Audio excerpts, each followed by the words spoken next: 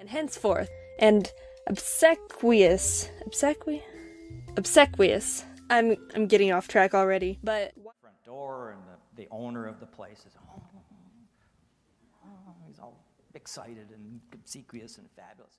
and offer an egg roll or be obsequious like Charlie Chan. Uh, it's to say that uh, we are always in the minds of others.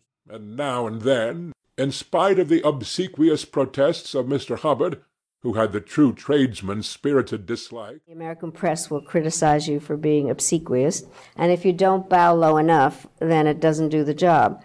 Anyway, I must have had the right.